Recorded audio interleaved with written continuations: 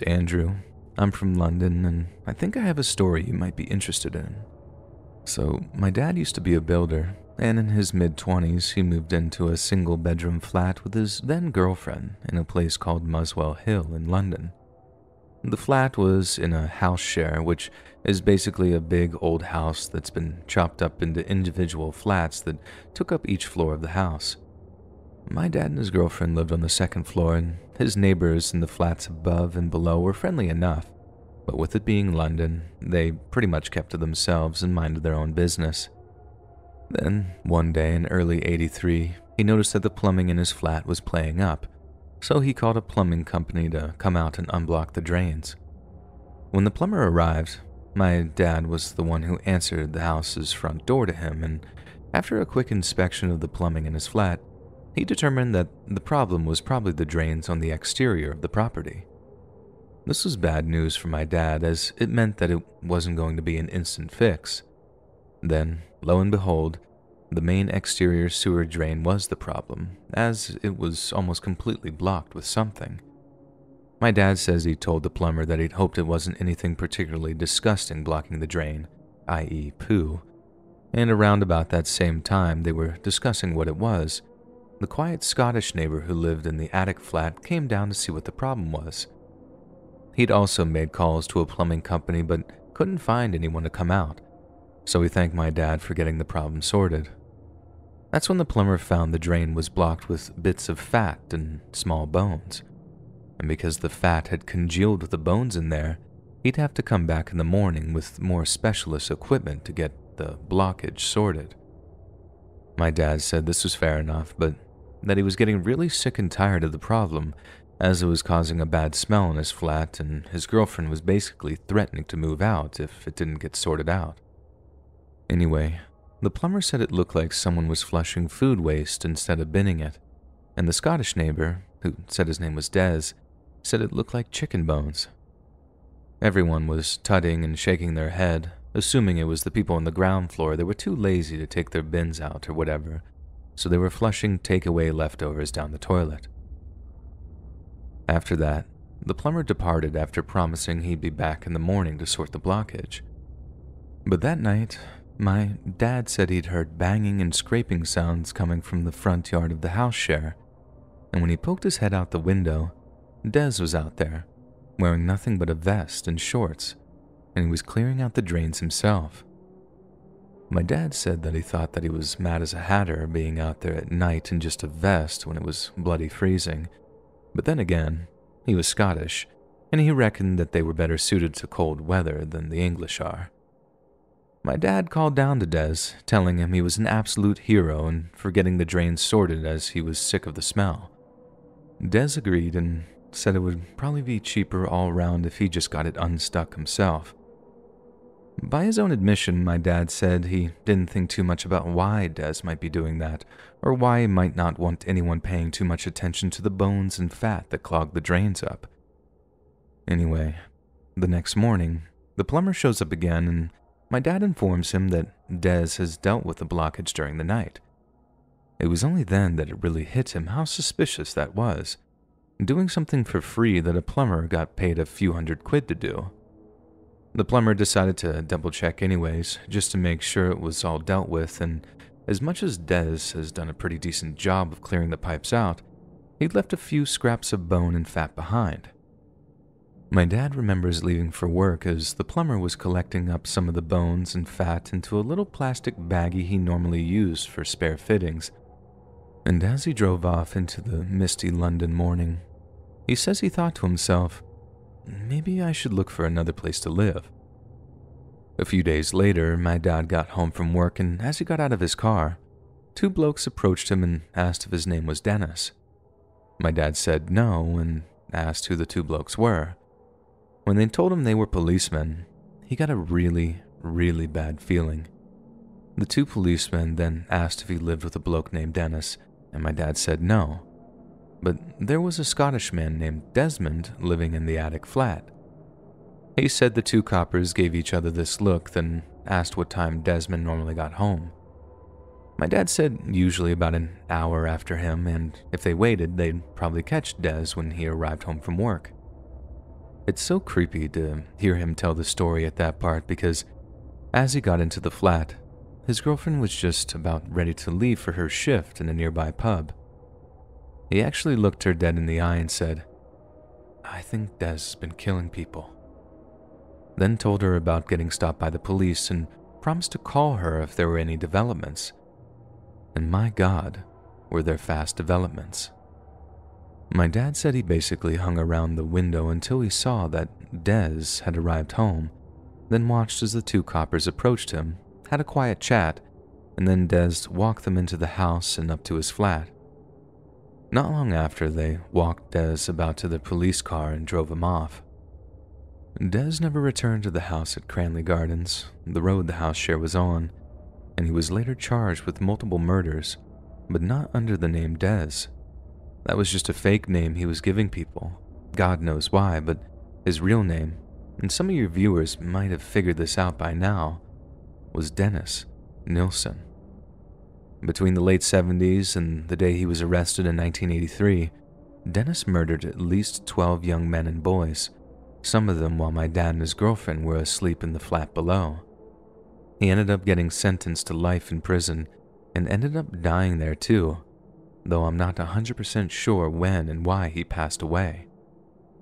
Obviously, my dad was quick to get out of that flat, as knowing that those bad smells weren't the sewer drains and were something else haunted him horribly. His girlfriend ended up leaving him as she just wanted to get away from all the memories of that place. He says that was hard on him, but it was a weird kind of blessing in disguise, because if she hadn't dumped him to move on with her life, he'd never have met my mom a few years later. It's not a story he tells very often for obvious reasons, and he didn't tell me or my sister until we were both adults who'd left home. But as you can imagine, our jaws were on the floor when he told us, and it's pretty horrifying to think that my dad was a close part of how Dennis ended up getting nicked. I've actually watched a few documentaries on the Nilsen murders, and it's surreal to hear about the second floor neighbor's involvement as every time I think, that's my dad.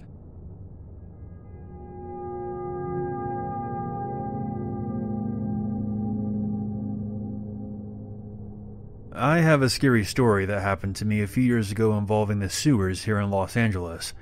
I know that might sound too gross to be on your channel, but I promise, I've tried to keep this as clean as possible. So, a few years back when I was 15 years old, I joined my family on an Easter Sunday picnic over in Griffith Park. While the younger kids did the Easter hunt, me and my three cousins went off to go play soccer. I'm more into baseball personally, so I got bored pretty quick. We then went off looking for something else to entertain us. After a while, we ended up finding an abandoned building on the edge of the park. And after being dared, I climbed over the fence. My cousins quickly joined me, and we started playing a game of tag around the abandoned building. But then my dumbass wasn't paying attention to where I was going. And as I was running on the old floorboards, I felt a piece of wood beneath me break what followed was falling almost 30 feet of empty space below me, and I ended up falling into the LA sewers. The first thing I felt was water, really fast running water. It was like being on a water slide, but with a concrete bottom, and instead of the water being all fresh and warm like in a water park, it smelled nasty. I tried to get my phone out of my pocket, knowing that it would probably be ruined but hoping that I could still use the flashlight. But the water was running so fast and I was so frightened that the phone was whipped out of my hand the moment it came out of my pocket. I tried to grab it, but I lost my footing, and that's when I started slip sliding downward. I honestly thought I was going to die. But suddenly I was able to grab onto a pipe and find my footing again. When I put my hands on the walls, they were all cold and slimy, and the water was up to my knees when I stood up. But all I could hear was my own voice echoing back at me, and the sound of rushing water. I was so scared that I could feel a lump in my throat, like I was about to burst into tears. Can you blame me? I was in the dark, alone, not knowing if I was ever going to see my family again. I realized my only option was to carry on through the pipe and find a way out but it looked so menacing. that I decided it was better to stay put and hope that someone would find me. I don't know how much time passed, but I was there for a while. I started to feel hungry and thirsty, but obviously I couldn't drink any of the water, or I probably would have died. For the first time in my life, I was actually praying to God. Not like in school or church, when you're just going through the notions and nodding along before chiming in with Amen. I was praying from my soul, saying out loud, Please, please get me out of here. What followed was like a miracle unfolding in real time. I had to strain my ears at first, but I distinctly remember hearing the sound of helicopters flying really close above me. It suddenly hit me that people were actually looking for me. It was one of the best feelings I've ever felt. But then, after another long period of time, I started to worry that they would not find me and that I wasn't going to be rescued. I tried to relax, telling myself just to wait, but it was actually 12 hours before I saw the light above me, and I heard someone shout, Here's the kid! And a rope got lowered down with a platform at the bottom of it. So I held on to it, and they pulled me out through a manhole. I felt disoriented when I came to the surface, but I was finally safe. I can't really even put into words how good that felt. I was by a freeway with all of these flashing lights.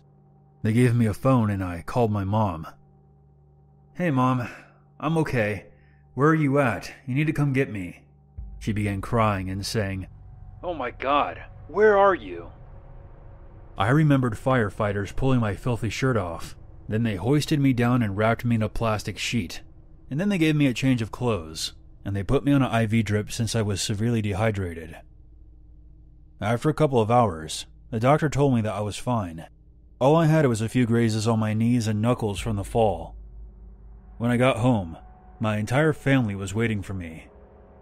I also remember seeing news reporters outside of my house waiting to interview me, which seemed a bit weird, but I suppose I had no idea what a big story this was the kid going missing and all.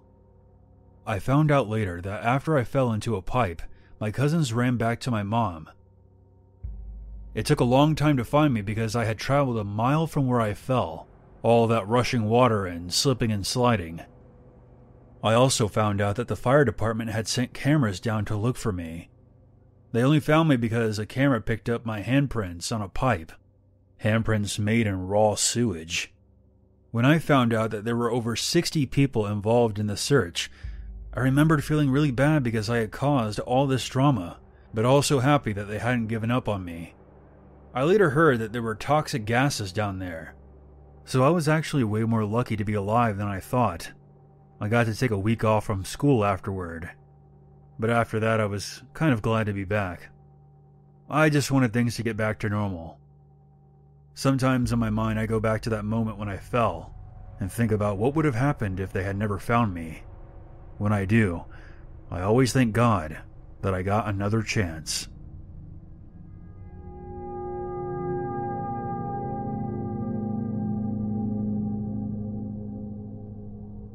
My name is Trevor. I live here in my hometown of Raleigh, North Carolina, and today I want to tell you about my encounter with a real life alien. Now, I know what you're probably thinking. This guy either has an overactive imagination or he's totally nuts. But please, hear me out. I'm like 90% sure you won't be disappointed. So, the thing is, I'm a sewer utility line mechanic here in Raleigh, North Carolina. I know, it's just a dumb, fancy way of saying sewer worker, but at this point, I'll take whatever dignity I can get. I joke, of course, because I'm actually kinda proud of what I do. If it wasn't for folks like me, all that stuff you want to stay flushed would suddenly start becoming unflushed, and nobody wants that. Anyway, back when I was still a rookie mechanic, I used to have to go down into the sewers with my foreman so he could basically show me the ropes. Let me tell you, you don't really know if you're brave or not until you climb down into the sewers and wade through waist deep toxic waste for hours at a time. I was kind of intimidated by the idea of it, and I'll admit, I only got into being a line mechanic because I needed the money. But good God, Actually, climbing down into the darkness the first few times seriously rustled my jimmies. The first few times, my foreman took the lead and I just followed, watching everything that he did, taking mental notes, and letting him walk me through the process of checking lines and probing for fat deposits. It was gross, and it never stops being gross.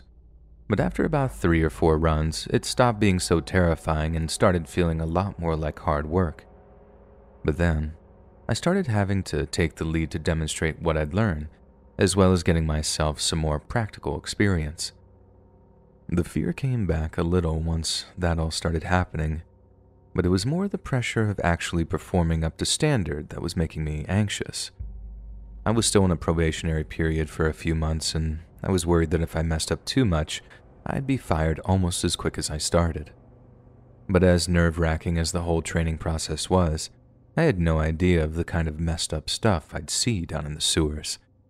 And one of those things absolutely terrified me, and is probably the closest thing I'll ever see to a legitimately otherworldly alien being. I remember turning down one of the shorter tunnels on our route, and as my flashlight's beam hit the sharp outer corner, I saw something move. This grabbed my attention for two reasons. Number one, obviously we get plenty of rats down in the sewers, but they're long gone before you get close because you make a ton of noise when you wade through the water. So, like, you hear them skittering around, which is creepy enough, but you tend not to ever see them unless it's at a distance. Number two, the thing was not only unlike anything I'd ever seen in my life, it actually reacted to the light of my flashlight and sort of tensed up. Okay, so that's kind of a lie when I said that I'd never seen anything like it because I had. Only it was in a bunch of different sci fi and horror movies. So you can imagine why it scared the life out of me to see it with my own eyes. What I saw was shaped like a human heart, kind of the same size, too, wider at the top and kind of narrower at the bottom. It reminded me of a heart, too, not just from the way it tensed and relaxed, but from the way it was pure blood red. It wasn't beating like a heart, though. It only ever tensed up when my flashlight passed over it, and that's how I knew that what I was looking at was somehow alive. Plus, the way it was reacting to my light kind of made it change shape, too, like it was scared of the light. I think I stared at it in disbelief for a second or two before finally whispering, like, Bob? What in God's name is that? I moved my flashlight over it again a few times, showing my foreman how it wasn't just the ball of fleshy gunk that was moving. The thing that was attaching to the walls was twitching too. He was definitely freaked out because he let out a whispered, My God. Poor choice of words on his part, seriously, because I figured he'd never seen anything like it before, and that had me even more scared than I had been before. Turns out, he had seen something like it before, and he actually knew exactly what it was, too. He'd just never seen one as big as that before. I really wish he told me earlier because I swear to God I almost had a heart attack, but after promising me that the whole thing was safe and wasn't some kind of Dark Souls monster, I finally got a hold of myself and pushed past the thing. My heart was literally trying to jump out of my chest, and I found I couldn't even look at it as I got closer because my legs just stopped working. But eventually I got past it and finished the run without passing out or getting eaten or absorbed. Okay, now I bet you're pretty desperate to know just what in God's name I saw by now, so I'll just go ahead and tell you. What I was looking at was a cocoon of tubifex worms. They're like these little blood red worms who are somehow both male and female, and when they breed, they breed in these big colonies that then form these blood red egg sacs. I'm probably getting that wrong in some way, so biology nerds, please don't at me, but I swear I've never seen anything so alien looking and scary in my whole entire life.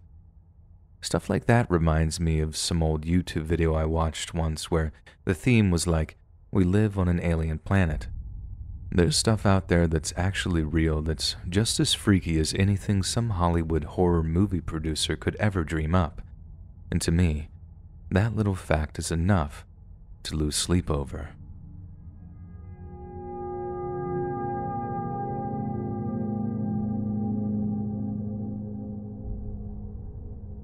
On the outskirts of the German city of Frankfurt lies a small sewer outlet. Known as the Liederbach Tunnel by residents, the outlet sits underneath an overpass and has a narrow, dimly lit walkway running through it. Even in daylight hours, the outlet has a rather ominous look about it, but its foreboding appearance isn't the only reason it's developed a sinister reputation among the locals. In days gone by, the outlet's walkway provided something of a shortcut between nearby residential areas and adjacent playgrounds. But since 1998, the tunnel has been blocked off to all but city sewage workers. Urban legends abound regarding the reasons for this, and although some of them are decidedly melodramatic, they're very much based on a true story. A story so utterly harrowing that, for 20 years, it continues to chill the blood of all those who hear of the Liederbach Phantom. March 26th of 1998 was the final day of school before Easter break, and 13-year-old Tristan Brubach was in no mood to attend. He attempted to convince his father that he had hurt his back, but his father was no fool. He knew Tristan loathed the routine and responsibility of education and forced him to depart for classes. However, around lunchtime, Tristan tried giving the same excuse to one of his teachers.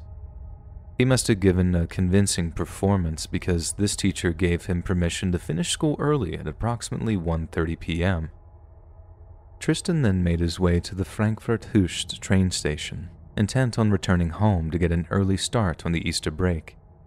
This particular train station is one of the busiest in the whole city, but despite the dense crowds, Tristan appeared on CCTV footage visiting a small store inside the station itself. The footage showed him to be alone, and he was still alone when sighted a short time later by a woman walking her dog through a nearby park. Tristan was sat on a park bench, puffing on a cigarette that he most likely purchased from the store in the train station, and when the woman passed him, Tristan leaned down to pet her dog a few times. The pair exchanged words, with the woman later saying that Tristan was a cheeky but charming young man then, as she walked away, she looked back to shoot him a warm, motherly smile. It's then that she saw two dark haired men approaching Tristan before engaging him in conversation. This was the last time that anyone would see Tristan alive. Around 5 p.m., a group of children were walking home from school and happened to pass through the Liederbach tunnel walkway.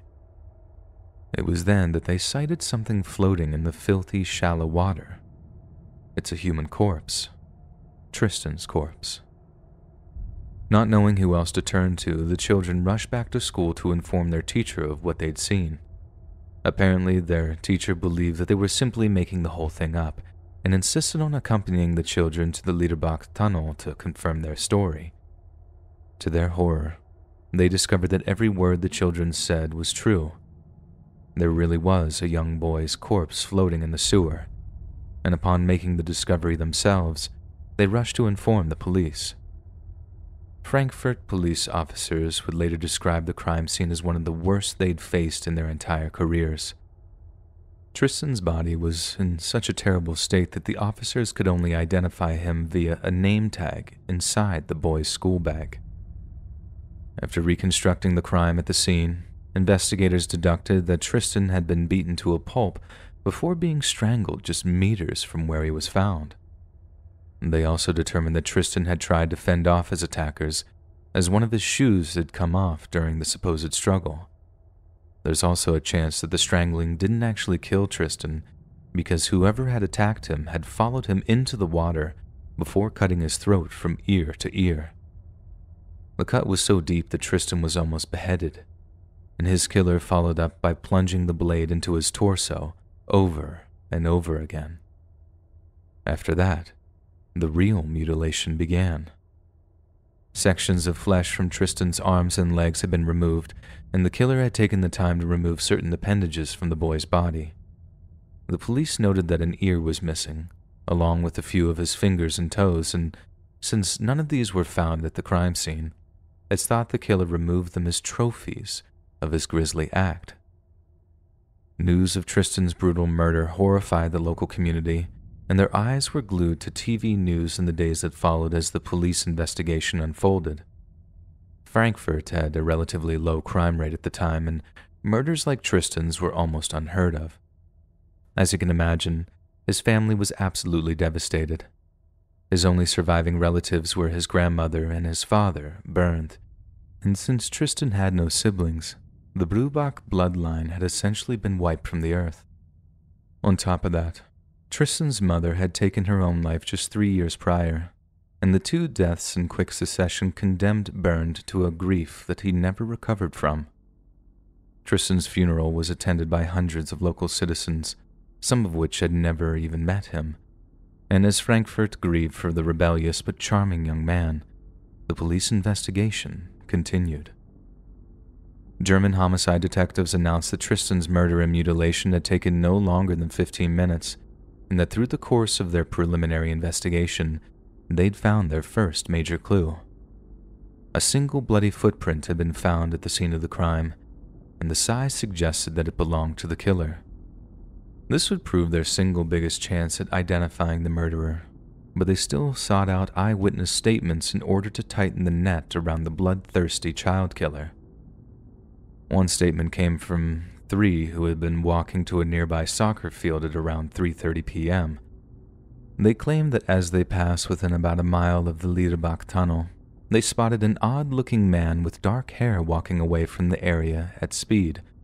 They also told the police that the man appeared to be soaking wet from the waist down, leading police to theorize that this was none other than Tristan's killer. This sighting was then corroborated by a young woman who had also been in the area at the time of the murder. She too had spotted a man whose pants and shoes looked sodden as they had been wading in deep water, and the two sightings help paint a physical description of the man believed to be Tristan's murderer. The man was said to have a long, scruffy blond beard with a small plait braided into one side. He was also thought to be very skinny and very pale with light colored eyes while standing at around five foot seven inches tall. Witnesses also mentioned he looked grimy, as if he was averse to bathing, and that he either had a hare lip or a very deep scar just below his left nostril. Police then consulted a criminal psychology profiler who told them that the suspect was most likely between 25 and 35 years old and had no close friends or family, and most probably harbored some kind of perverse attraction or resentment towards children. This profiler also stated that there was a big chance that Tristan knew his killer in some capacity, and that the police factored many of these estimations into their investigation in the weeks that followed. Yet, barely a week after Tristan's funeral, there was a shocking development in the case that left even the most hardened investigators shaken. On April 7th of 1998, Frankfurt police received a call from a payphone located in the Hoechst train station and the very same train station Tristan had been sighted in just hours before he was murdered. A police dispatcher answered the call, and when they asked the caller to identify themselves, the caller simply replied, This is Tristan's murderer speaking, and told the officer they wished to turn themselves in. When asked to describe themselves, the caller told the officer he was a 5 foot 11 inches with long black hair, a detail which contradicted the more recent eyewitness statements but lined up with the dog walker's description of the two men that approached Tristan while he was smoking on the park bench. The supposed killer then stated nothing but, arrest me, then ended the call. Police officers rushed to the train station but failed to apprehend the caller, and due to how busy the Hoechst train station was, they were unable to identify the caller from CCTV footage or get accurate fingerprints from any of the payphones. When this new piece of information reached the media, some journalists speculated that the killer was trying to confuse investigators by providing contradictory information, but failed to note that the dog walker seemed to provide this exact same description of the suspect. In addition to this, when police released the audio of the call to the general public, many noted that the caller sounded distant and intoxicated. This could have easily been because the call was a prank formulated by mean spirited drunks but it also lined up with some description of the killer as pale, scruffy, and unwashed, potentially lining up with someone with addiction problems. As the investigation grew in scope and scale, it quickly became the largest murder investigation in German history. It was comparable to the JonBenét Ramsey investigation in the US or the Madeleine McCann investigation in Great Britain. The entire country was positively obsessed with the murder, the unfolding investigation ate up airtime on the nightly news, as well as pervading the dinner table conversations of almost every family in the nation. Police officers took fingerprints from a jaw dropping 10,000 male suspects in the months that followed, as well as collating around 24,000 witness statements. They also had a number of composite sketches made, each detailing what they believed the killer might look like, and had these distributed to more than 80 different German prisons. Even Germany's criminals were appalled by Tristan's murder and entire swaths of criminal organizations promised to do all they could to catch his killer. Police also reached out to various medical clinics, hoping to match up the hare lip detail with any potential patients. Officers then interviewed almost every single person who'd had a hare lip repair operation during their youth, but none were considered potential suspects following these interviews. The investigation slowed until March of 1999 when police made their second solid break in the case. Tristan's backpack, a different item to his school bag which had been missing from the scene of his murder, was finally located. It was lying in a wooded area around 16 miles from the scene of the crime, and perhaps most interesting was the fact that it contained a Czech language road map of Germany. Tristan didn't speak or read Czech, so it was safe to say it didn't belong to him and most likely belonged to his killer. The release of this new information to the public prompted yet another eyewitness to come forward, one who claimed that she had been walking through these same woods the day after Tristan was murdered. During her walk, she had been accosted by a man who seemed mentally unstable, one who was ranting about the French Foreign Legion as well as a herd of lost sheep. But more pertinently, she claimed the man not only spoke German with a Czech accent, but he was also carrying what strongly resembled a child's backpack. It seemed the police were only a hair's breadth away from catching the killer, but when the man was tracked down with the help of the French Foreign Legion, it was discovered he had a solid alibi and had to be ruled out of any subsequent investigations. By that time, an entire year had passed since Tristan's murder, but to the investigators' frustration, they were no closer to solving his murder than they were the year before. Lead after lead took them to nothing but dead ends, and the case was dangerously close to becoming a cold one. Then, in October of 1999, Tristan's grandmother paid a visit to the young man's grave, only to make a truly terrifying discovery. We can only imagine the anguish and horror she felt when she walked up to her grandson's grave to find that someone had tried to dig him up. Whoever it was had laid down a plastic tarp and had excavated so much earth from Tristan's grave that they'd almost reached his coffin. What's more, a single shovel lay next to the excavated earth, and although a lack of recent rain meant that it was near impossible to tell when the grave had been disturbed, Tristan's grandmother insisted she had the feeling of being watched, and that she'd interrupted the grave robber's grim endeavor. Investigators were baffled by this bizarre and horrifying twist in the tale and Despite the Brubach's family insisting that the killer was to blame, there was no way of telling who might undertake such a grisly task. In the years that followed Tristan's murder, the lack of a solid explanation led to a number of vicious rumors being circulated, none of which warrant discussion in this video.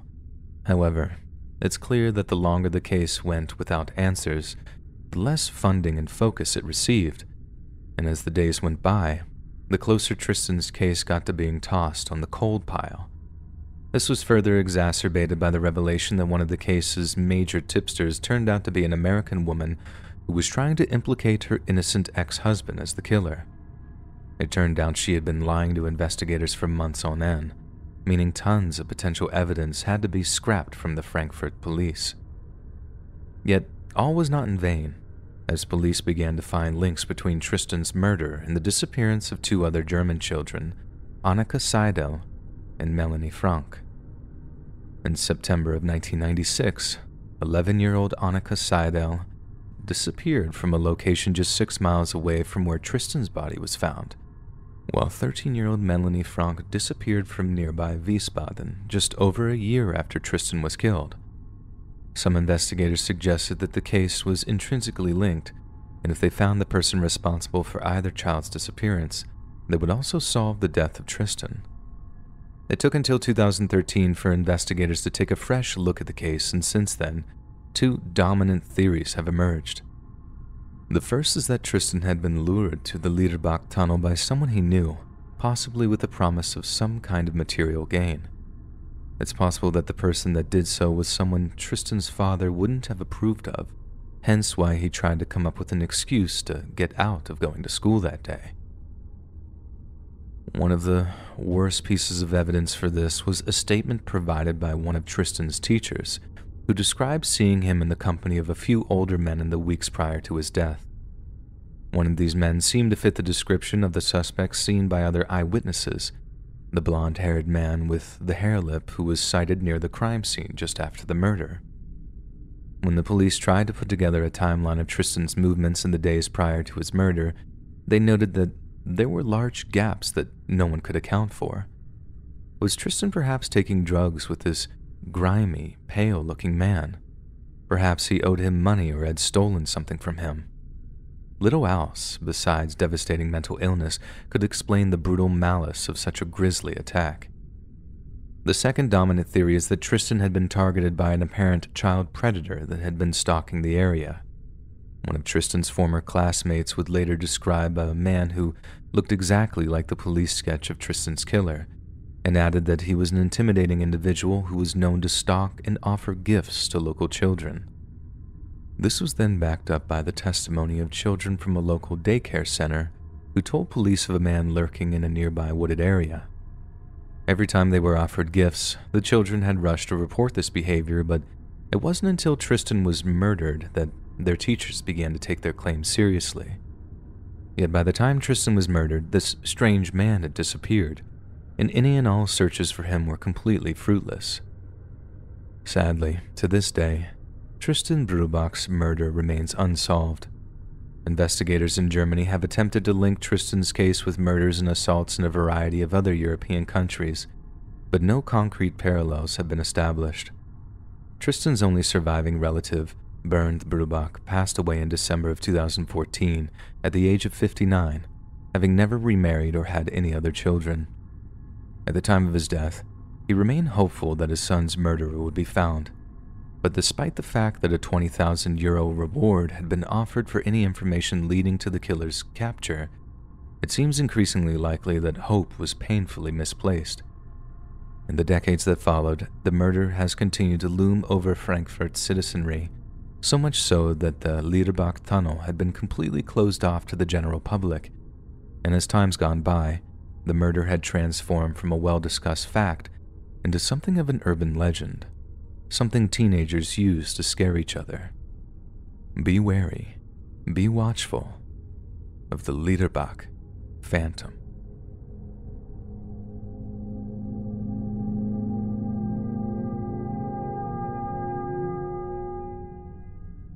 Born in 1957, as the only daughter of George Whittle and his girlfriend Dorothy, Leslie Whittle grew up in the English city of Wolverhampton and would go on to enroll as a student at the town's Wulfrun College.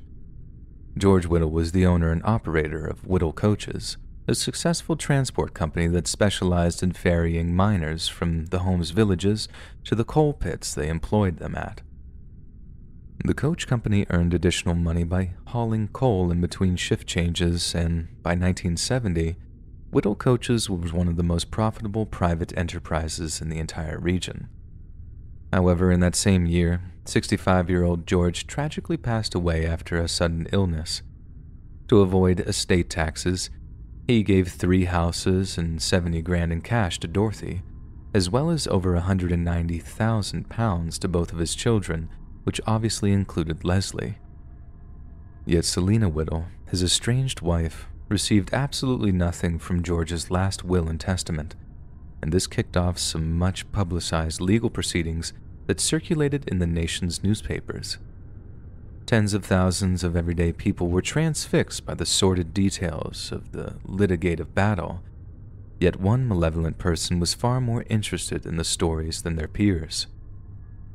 And in their dark and twisted mind, a plan began to form. On January 14th of 1975, Dorothy, who by then had adopted her deceased husband's second name, returned to her home in Shropshire at around 1:30 in the morning. Shortly after entering the house, Dorothy quietly checked in on her daughter Leslie, and after finding her fast asleep, Dorothy also retired to bed. Yet as she slowly drifted off to sleep, she had no idea of the horrors that were to befall her young family when she awoke the following morning. Not long after dawn on Wednesday, January 15th, Dorothy rolled out of bed, trudged downstairs, and began cooking breakfast for her two children. It wasn't unusual for Leslie to sleep in, even on a school day, but as she began to get dangerously close to being late for college, Dorothy climbed the stairs with the intention of waking her. But when she walked into her daughter's bedroom, Leslie was nowhere to be found, and in her place was a typewritten note. Dorothy knew something was horribly wrong as she read the first few words, which told her that under no circumstances was she to contact the police. Leslie had been kidnapped, and the only way to get her back was via a payment of £50,000. In order to facilitate the transaction, she was to wait for a telephone call that evening, one that would come to a payphone near the Swan Shopping Center in Kidderminster. Dorothy descended into a wild panic and drove over to her stepson Ronald's house. When he heard the news, Ronald completely ignored the ransom note's demands and immediately contacted the local police force. Late that evening and early the next morning, a team led by Commander John Morrison and Detective Chief Inspector Walter Boreham began an investigation into the kidnapping. But somehow, the story was almost immediately leaked to the British press, and a feature on Leslie's kidnapping was featured on the nightly news on the very same day she was taken. By some miracle, the broadcast didn't deter the mysterious kidnapper, but they waited until 1 a.m. on January 16th to make the phone call to the shopping center's payphone. During the call, Leslie's voice could be heard, assuring her family she was okay. Yet she also passed along instructions that the family needed to visit another payphone in nearby Kidsgrove in order to retrieve a second message that had been stuffed behind the payphone's backboard. It was during the second trip that the family was ordered to bring along full payment of £50,000 or a terrible fate would befall Leslie. After collecting the full cash amount, Ronald Whittle departed from Bridgnorth Police Station just after 1:30 a.m. on January 17th. Yet Ronald was unfamiliar with the area Kidsgrove, and in the search for the correct payphone, he quickly became lost. It took him almost 30 minutes to locate the payphone, which was located just outside the Kidsgrove post office. There was indeed a typewritten message stuffed behind the backboard, one that directed him to a piece of nearby parkland known as Bathpool Park. The rest of the message has been paraphrased as follows Go to the top of the lane and turn into no entry. Go the wall and flash your car flights. Look for the torchlight run, then await further instructions. Ronald followed the instructions to the letter, driving down a pathway which was marked with a no entry sign. He drove to the end of the lane, flashed his car lights, and exited the vehicle to await fresh commands, yet no one appeared. As it turned out, a young couple had parked their car right next to the proposed ransom drop, and in the confusion, the kidnapper seems to have fled the area. The entire Whittle family was panic stricken by the failure and were terrified that Leslie would in turn suffer the consequences. Yet all they could do was wait to be contacted by the mysterious kidnapper praying all the while that Leslie would survive the ordeal. Police officers assured them that the kidnapper would not harm Leslie, as she was far more valuable alive than dead. But still, the Whittles worried, having no idea if the person they were dealing with was just greedy or pure evil. Around a week after the failed ransom drop, West Mercia police were contacted by their West Midlands counterparts. They informed them that the same night as the ransom drop, a car had been abandoned near the Freightliner terminal in the town of Dudley. The terminal's security guard had been shot in the back six times and was in critical condition in the hospital, while the car itself contained a pair of slippers that were confirmed to be Leslie Whittles. The shooting of the security guard appeared to have been a statement from the kidnapper, one designed to assure the Whittles that he was not afraid to use violence to achieve his goals. But as it turned out, the fingerprints and ballistic evidence left behind by the kidnapper were a far louder statement than any bloodshed. The fingerprints were the exact same pattern that were found at the scenes of three other slayings committed by a man who the British press referred to as the Black Panther. During a series of post office robberies, the Panther shot dead two postmasters and the husband of a postmistress, and earned his nickname due to his dark clothing and frightening agility. This new information only served to further terrify the Whittle family, who realized that they were dealing with no mere amateur, but a hardened, remorseless killer. Just days after the shooting of the security guard, the police decided to hold a press conference to inform the general public of Leslie's kidnapping. They knew that Leslie's kidnapper had strictly forbidden her family from contacting law enforcement, but seemed convinced that he would refrain from hurting her. In light of this, high ranking officers ordered a thorough search of Bathpool Park, the site of the proposed ransom drop. The search began on March 6th of 1975 and since a roll of Dymo tape typing paper had been found stuffed into an old sewer drain, police continued to inspect the other sewage drains present in the park. The deepest of all the drains happened to once serve as an air ventilation shaft for Nelson's coal mine and had to be tested for poisonous gases. But once it was declared safe to enter, officers of the West Mercian police force descended into the darkness to search for clues. The drain consisted of three steep landings, and on the second, the search team discovered a cassette tape recorder, the same variety used to create the proof of life tapes of Leslie's voice. Then on the third landing, the search team discovered a rolled up sleeping bag that was acting as a pillow, a yellow foam mattress, and a survival blanket. Yet it was only near the bottom of the drain that the search team made the most horrifying and heart wrenching discovery hanging from a thick steel wire a mere seven inches from the bottom of the drainage shaft, was Leslie Whittle's cold and clammy corpse. It was widely accepted that once Leslie's kidnapping was made public and it became obvious that the police were involved, her kidnapper had simply executed her by tying the wire around her neck and pushing her off the third and final landing. In the aftermath of Leslie's brutal execution, her kidnapper became the United Kingdom's most wanted man. A huge manhunt commenced, and soon, the hunter's net began to tighten around this murderous defiler. Towards the end of the year, in December of 1975, two police officers spotted a man acting suspiciously in the large market town of Mansfield. When they approached him, the man produced a sawn off shotgun firing it into the air before he rushed off into a nearby fish and chip shop to take hostages. However, the brave patrons of the traditional eatery quickly overpowered their potential captor, and the man discovered to be one Donald Neilson was taken into custody. In the investigation that followed, Neilson's fingerprints were found to match those in the drain shaft, and later, at Kidsgrove Police Station, Neilson confessed to Leslie's kidnap but not to her murder. During his trial at Oxford Crown Court, Neilson's defense attorney proposed that Leslie had in fact killed herself accidentally after slipping and falling from the ledge while the metal wire was around her neck. This wire was supposed to secure her, not hang her, and it was argued that Neilson had showed a great deal of compassion for his victim by feeding her, clothing her, and providing a place for her to sleep. However, this argument failed to convince the jury, and in July of the following year, Neilson was found guilty of Leslie's murder, with the judge handing him a life sentence of 61 years in prison.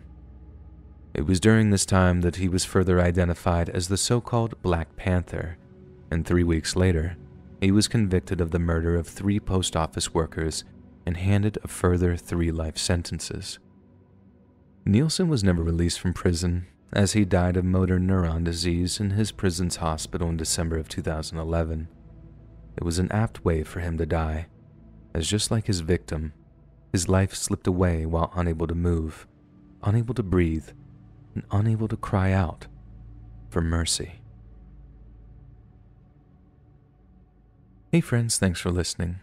Click that notification bell to be alerted of all future narrations. I release new videos every Monday, Wednesday, and Friday at 7 p.m. Eastern Standard Time. If you got a story, be sure to submit them to my subreddit, r slash let's read official, and maybe even hear your story featured on the next video.